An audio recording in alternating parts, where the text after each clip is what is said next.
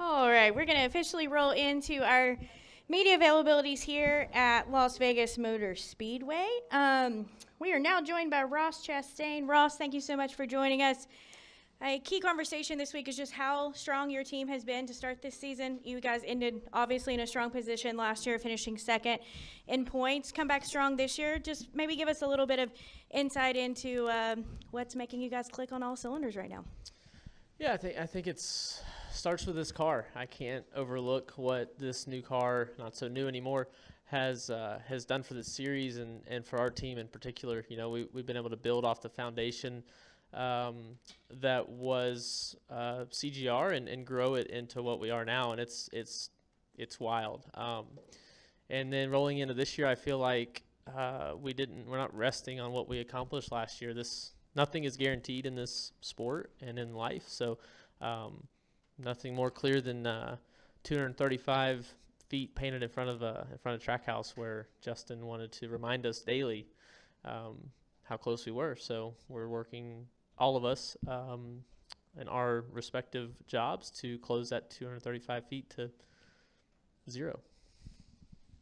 All right, we're now going to go to questions for Ross. If you have a question, we'll get a mic to you. We're going to start up front with Kelly. Kelly CrandallRacer.com. Ross Connor Daly said this week that you apparently have, have a con- had had a conversation with him about being interested in open wheel and IndyCar. Or is that was that a serious conversation? Would it be the Indy 500? Can you share your side of that?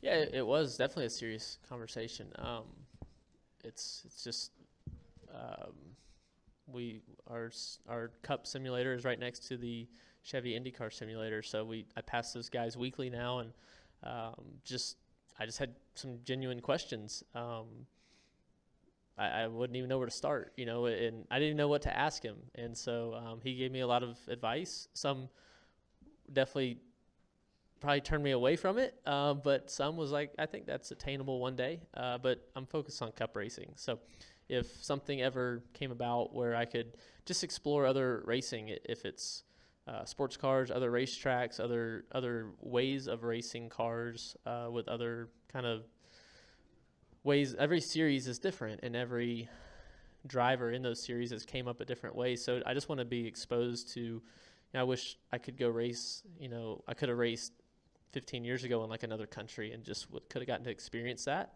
Um, and I see some kids getting to do that now, and and they come up through mainly the open wheel ladder. Us circle track racers, Saturday night short track, we're pretty in the same box, all of us. So I, I want to get outside of my comfort zone and get outside of the box.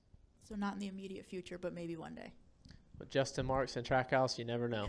but I would be open for it. But uh, no, no plans. No, I just had genuine, just so like gen- generous, genuine questions. Um, so what was it that he said that uh, might have turned you off to it? That you said that uh, some of the things he said. It's the business side.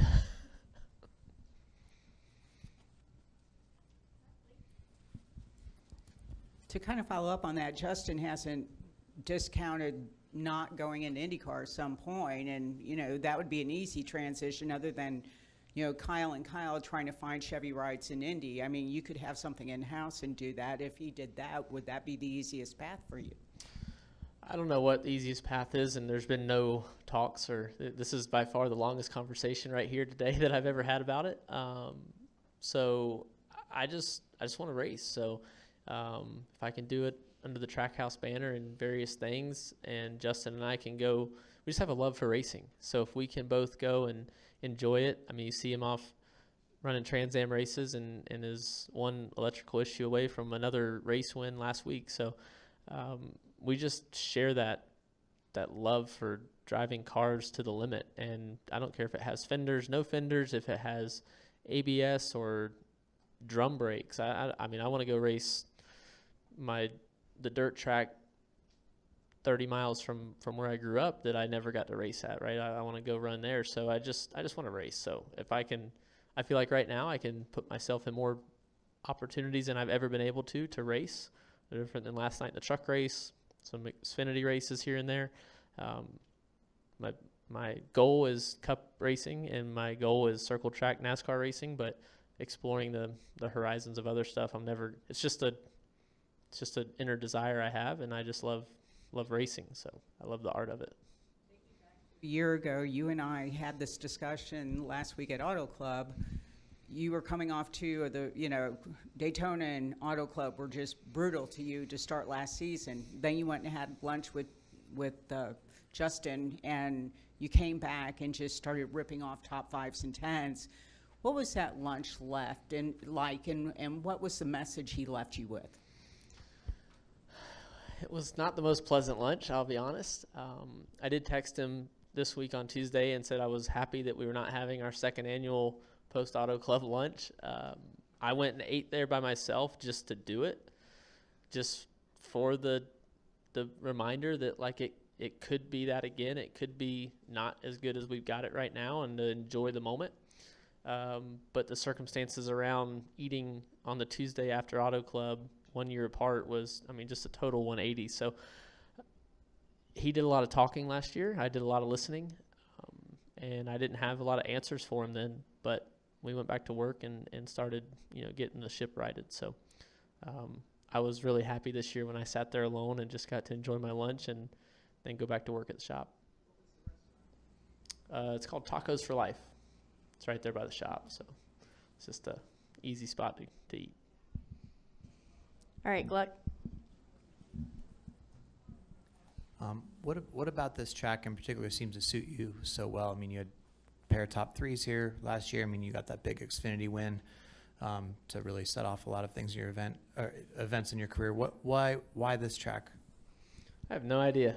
I don't. I I feel like um, there's other tracks that I um, understand more, and there's other tracks that I've had faster race cars at. But for some reason, you know, there have been some really high, bright moments here.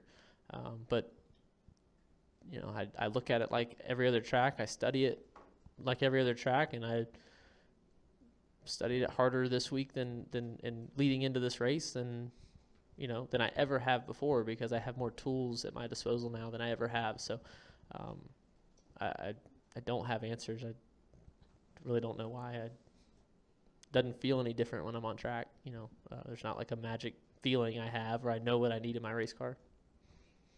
hours a week would you say you spend on preparation or whatever whatever data you're looking at, whether it's film or telemetry type stuff? Um, oh gosh, I mean, I don't do a lot of anything else. I, it's usually my, my weeks are filled with, they're they're built out starting from the Sunday Cup race back.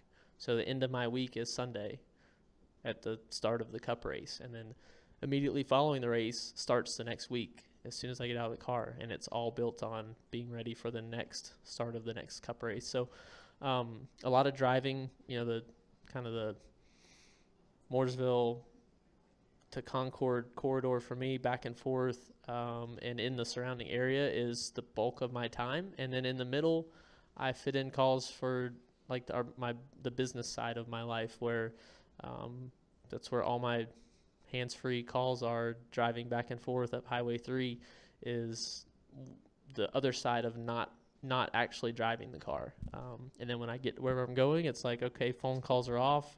A lot of time i just leave my phone in the car because mentally it's hard to i mean I, we have to virtually you know drive these tracks on simulators well if your mind is on something else you're not going to be applying yourself when you're in the car in practice, for me, I can't think of anything else except driving the race car because if I crash, it's going to hurt. Simulators don't hurt.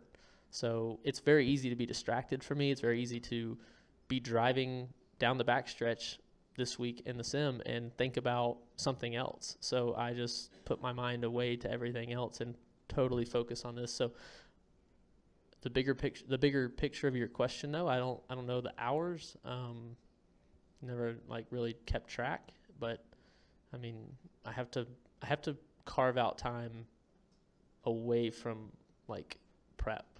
Um, I just I don't have a lot else truly going on. Um, this is it for me right now. All right, we'll wrap with Justin. Go ahead. Justin Schuler kicking the tires. Just to kind of take a rabbit trail off of that question, um, high winds this weekend. So does the simulator prep you for that at all, or do you just show up to a track and have to deal with high winds, and how do you adjust to that? Yeah, no no wind in the in the sim. Um, I'm, I don't. Uh, we're not even. I'm not even allowed to turn the the driver comfort fan on in there if I get too hot. So I have to sweat it out if if it's hot. But um, nope. Um, yeah. I mean, we we adjust like you can adjust how fast you go and, and how much grip the track has, uh, but doesn't account for for wind. So that's uh, that's where the cool part comes in. That's where race car drivers get to come and put these race cars to the limit. And uh, you catch a bad wind gust. I mean, I've I, you know, more dirty air, but like wind crashes race cars, and it can be from dirty air of other cars a lot of times. But if it's as strong as they're talking about, if it's going to get that bad, it doesn't feel to me that bad right now. But if it gets that bad, then uh, we'll feel it inside the cars. All right, Ross, thanks so much for spending some time with us. Best of luck um, this weekend. Thanks, Amanda. All right, we'll now be joined by our defending race winner, Alex.